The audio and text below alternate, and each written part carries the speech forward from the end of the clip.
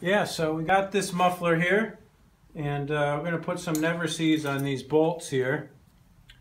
And uh, yeah, this baby's real close to being done now. This is exciting. So let's see what we got here. Oh yeah, this is going to be sweet. Sounds like there's something in it. what the heck? You know that's going to drive me nuts. It's going to be like a little rattle in there when it's done. Uh, maybe it'll just blow out when it's on. Let's see. Yeah, so we got four bolt, four new bolts, new gaskets. This thing is going to be awesome. Four new lock washers.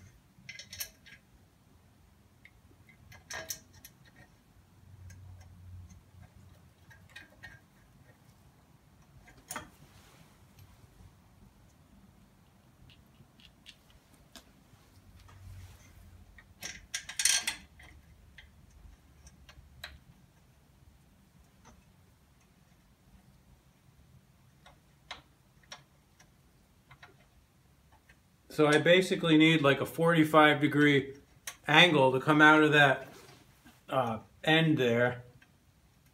And then after that, like maybe a one inch piece. So I think I'll stop at Home Depot tomorrow morning on the way to work and see if I can't snag those.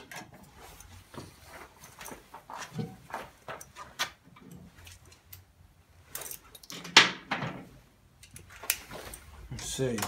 Tighten this sucker down.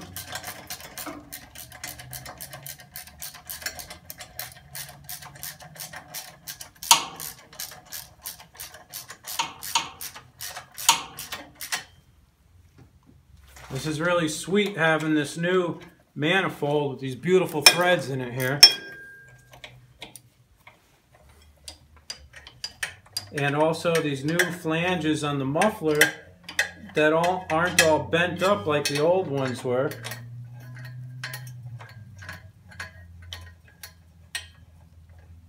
Some of you guys remember the video from my 450 when they were totally freaking bent. Ended up having to file them and hammer them to try to get them smooth again. This is a real pleasure to work on this.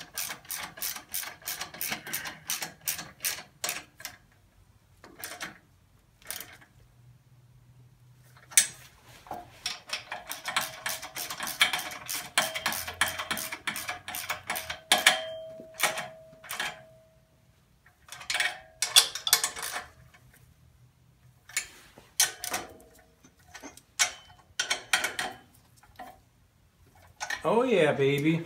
Ta-da! So, really, there's only one thing left in this uh, to do is hook up the fuel line here. And uh, hook this back up down here to the fuel pump. Hook up our line back up to the carburetor.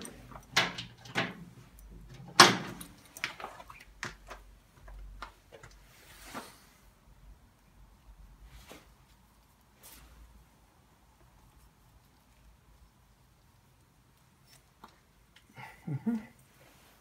This fuel pump is a little bit suspect. And if it ends up that it's giving me hell, I'm going to switch over to a Briggs vacuum pump. But for now, we will hook this back up. Shouldn't really be a big deal. Tighten up these clamps.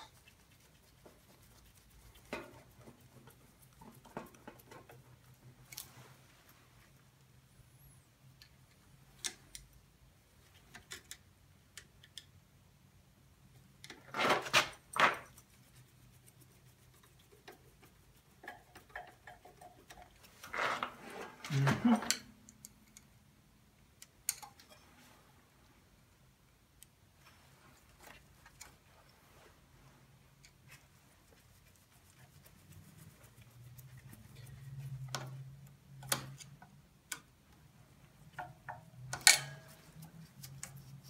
I think I will go use my uh, blow in the gas line trick and try to prime this fuel line again.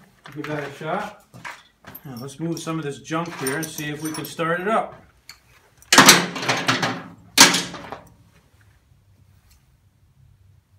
Check the oil, in the crankcase. Pull the dipstick here. Yeah, it's right up to full. Let's see.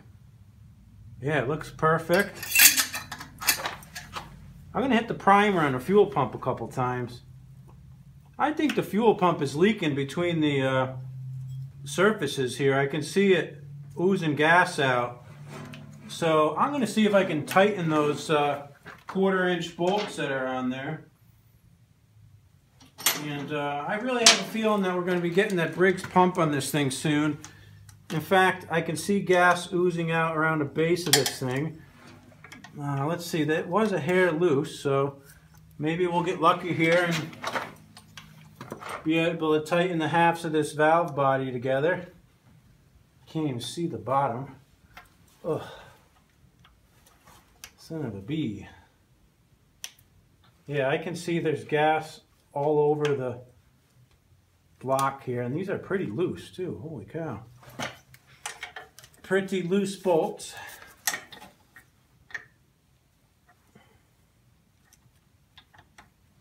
Can't get to that one.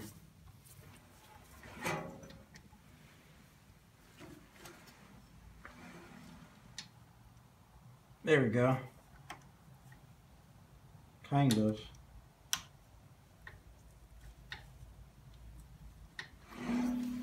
See. I don't know. We'll see.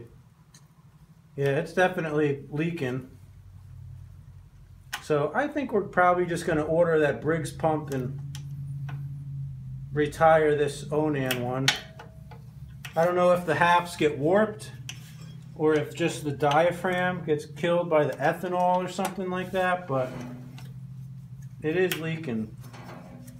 Well, I see some gas in my carburetor, so hey, you know what? Let's see if we can get this thing to run. Let's check it out. Put the choke on. This one likes to be in low throttle usually.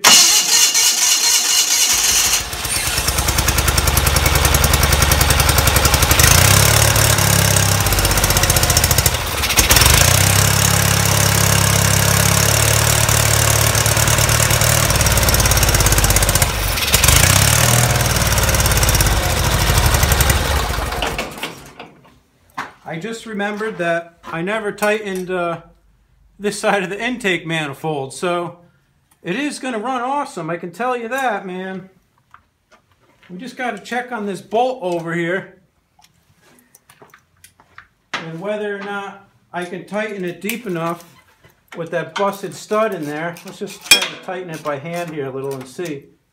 Yeah, it's bottomed out, so before I go any farther, I'm going to uh, and take this bolt out of here and bring it home and cut a little bit off the base of it so that I don't snap it off. And uh, yeah, call this a wrap, guys.